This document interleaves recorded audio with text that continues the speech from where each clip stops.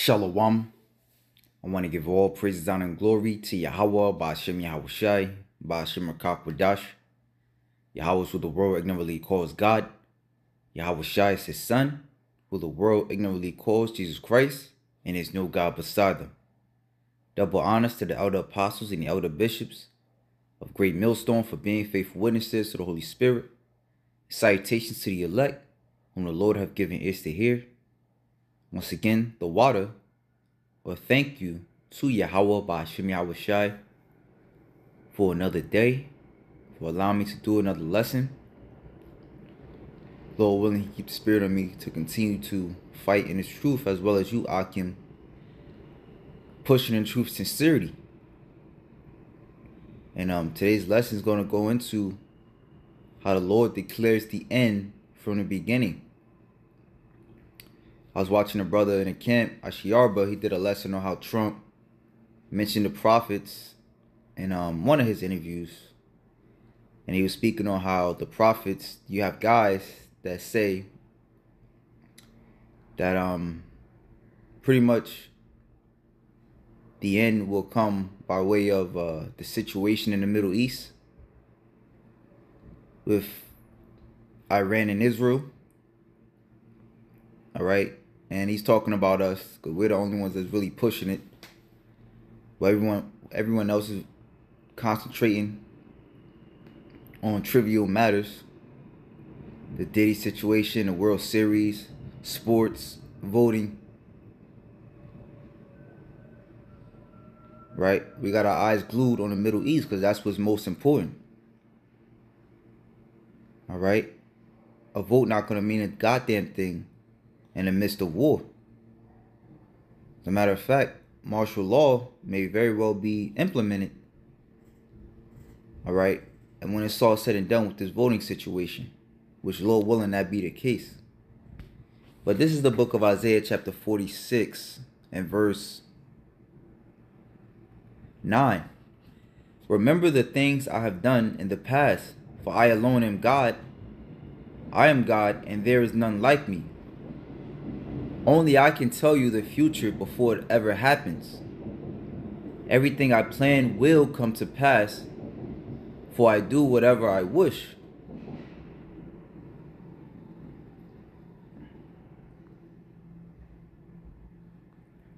Right? And the Lord has revealed his secrets to his servants, the prophets, to where we are correct when we tell you that this place is going down, right? When we tell you the events in the days to come out of um you know is uh, America pretty much going into uh the land of Israel to fight with them. And it's happening. The apostle hard did a lesson the other day on how Iraq and Israel I mean, I'm sorry Iraq and Iran are getting together and joint drills. And the scriptures speak on how um the Carmanians and the dragons of Arabia is going to come together. Right? So the Lord is perfect in what he says. All right. And we are perfect inherently because we say what he says. We preach what he says. All right. And everyone who doesn't believe in the Bible, like the scriptures say, fear not the incredulity of them that trouble thee, all the unfaithful shall die in their unfaithfulness. You cannot believe that RFID chip is the um an RFID chip is not coming, which is the mark of the beast. You cannot believe that World War III is not coming. All right? But you're to die because you're to take the RFID chip, you're to eat a missile. And that's pretty much to where you were called to by us of the hopeful elect. All right, we're doubling down on our faith as we see these words coming to pass. Right? And um essentially the Lord's determination is for Israel to rule the earth. Right? Um, I was meditating on the scripture how the Lord says he declares the end from the beginning, Isaiah 46 and 10. That's uh written in a in a KJV version, and um, how this thing of ours, this thing of the Lord's rather, is like uh, you ever watched one of those movies where it shows you it's like a prologue or like a five minute clip in a movie to where it shows you how things will be.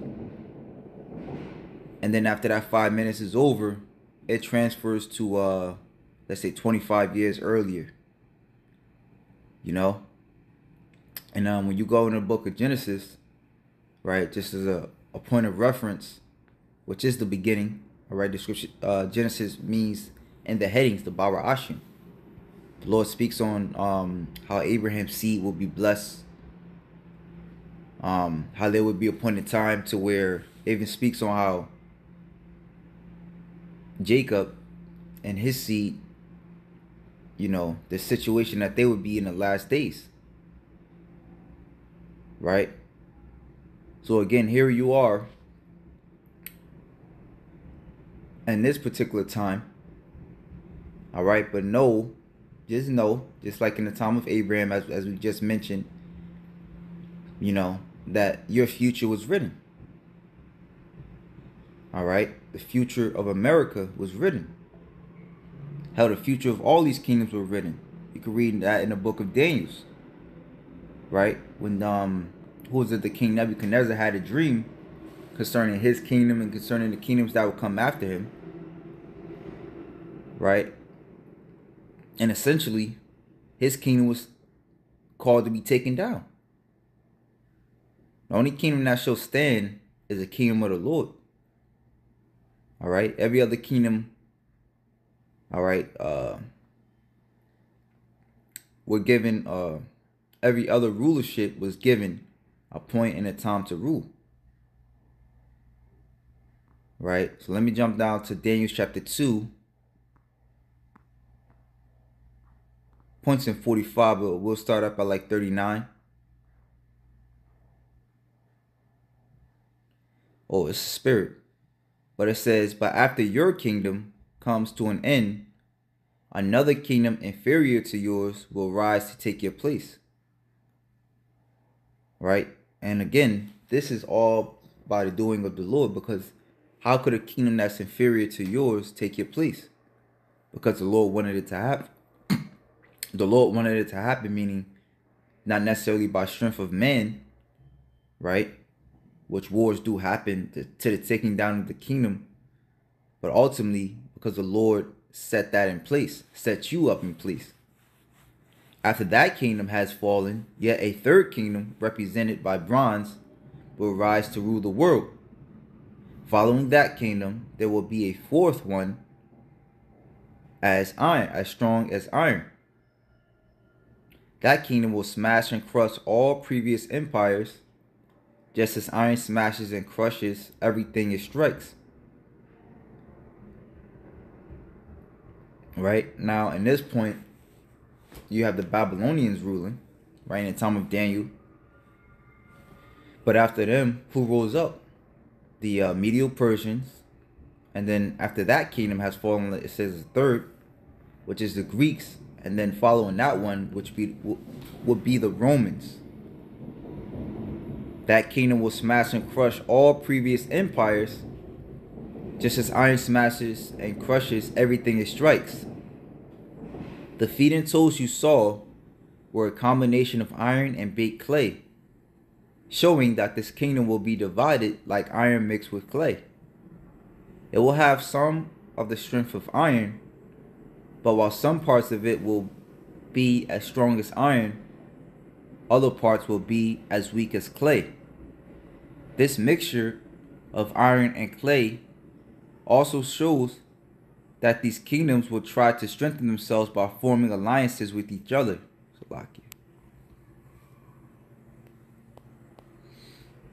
It says, um, with each other through intermarriage, but they will not hold together, just as iron and clay that do not mix. Right? And um, I believe yeah, Daniel Daniel seven chapter speaks on the rising and falling of these kingdoms. And I bring that up because when you compare the two, it speaks on how uh, what is it? The legs and the feet are pretty much comparable. So you have the fourth kingdom, and then when you go into Revelations, it was it the twelfth, uh, the thirteenth chapter, how the, the fourth kingdom will rise, will fall and rise again. Right. When it rise rises again, it's going to mix itself with, with weaker nations. You have something today known as the pigs nations, which stands for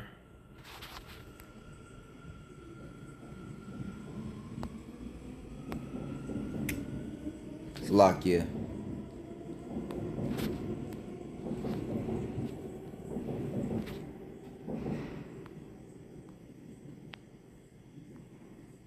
It says the acronym PIGS refers to Portugal, Italy, Ireland, Greece, and Spain, which were considered the weakest nations in the Eurozone during the European debt crisis. The term PIGS was first used in the 80s to describe the country's high debt levels and questionable budgetary decisions. It became more widely used during the European debt crisis of 2009 to 2014, when these countries struggled to refinance their debt and bail out banks. Um, all right. So, yeah, this shows you that, which it shows you that the EU, in accordance to today, right, whereas you had um, in the ancient world how Rome paired itself with various uh, nations, the Franks, the Goths, the Visigoths, the Vandals. Today, he would pair himself with the Portugal, the Portuguese, the uh, Spanish, which I believe that the Portuguese came out of the Spanish, if I'm not mistaken. The, you know, the various nations um, that comprise of the EU today, the EU and NATO today. But some of them will be strong and some of them will be weak.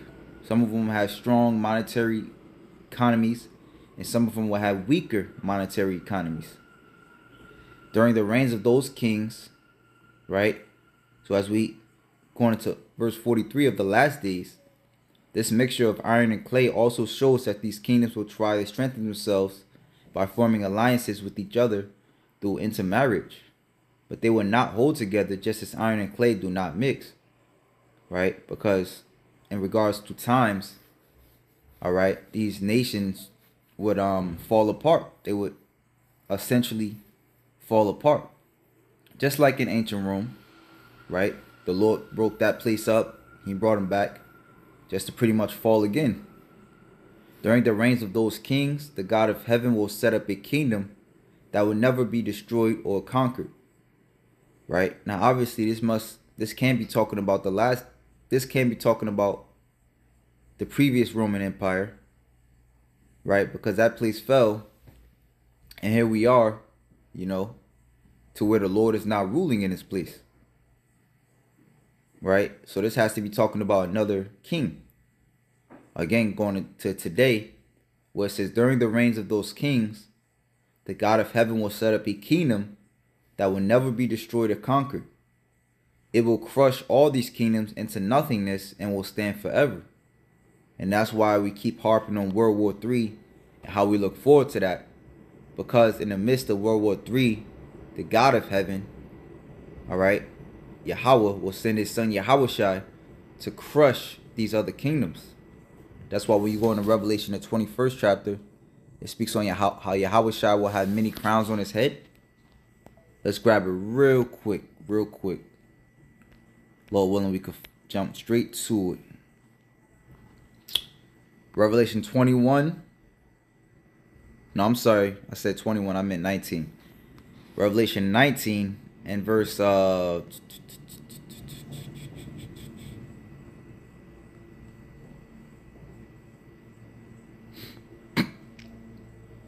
Yeah, 11. Then I saw heaven open and a white horse was standing there. All right, the horse represents power and the white represents purity. So a pure power, right? It's going to come out of the heavens. All right, out of the sky. Its rider was named Faithful and True, for he judges fairly and wages a righteous war. His eyes were like a flame of fire, and on his head were many crowns. A name was written on him that no one understood except himself. Right? He wore a robe dipped in blood, and this and his title was the Word of God. Right? And we know the Word of God became flesh, which is Yahweh So this is talking about Yahweh who the world really calls Jesus Christ. And he's going to come and destroy all these very previous nations under him. Right? Um, it speaks on how these nations make a tumult and how their thought is to keep us constantly under their thumb. Right? But the Lord has other plans for us. Again, going into the very beginning. All right. Well, as I mentioned Genesis before, but even the whole, whole old, all of the Old Testament, how Israel will come back to rule the earth. The Lord has not forgot about his promise, as it is also written. Yahweh said, um, he has not changed, therefore Israel is not consumed. Right? Time may go on, but the Lord's um, counsel still remains the same. Daniel's chapter 2, right? And it's, there's a whole breakdown. I'm sure you can find it on YouTube of Brothers of Great Millstone going into these uh, Daniel's 2, Daniel 7, Revelation 13. So you yourself can get this understanding. I just have to go through it very quickly because of uh the sake of time. Says the feet and the toes you saw. Okay, we read that. Verse 45. This is the meaning of the rock cut out from the mountain, though not by human hands that crushed to pieces the statues of the iron, bronze, clay, silver, and gold the great God was showing the king what will happen in the future. The dream is true and its meaning is certain. I was trying to get it in the G and T, but um, for some reason, uh, we could try to get it real quick, right? But I mean, I like it in the KJV also. For as much as thou sawest that the stone was cut out of the mountain without hands, Again, this is speaking on Yahweh You can read that in Second Ezra, the thirteenth chapter. We had a uh, a huge chariot come out the sky, but it was it was as a um a mountain because it was so big. Ezra described it as a mountain, and that it break in pieces the iron, the brass, the clay, the silver, the gold. The great God had made known to the king what should come to pass hereafter and the dream is certain, and the interpretation thereof sure. So the Lord is surely going to break down our enemies. And the Lord is surely going to bring us home in the midst thereof. Right? So um I'll just leave it there. Lord willing, you Akim will edify. Shalom to the elect.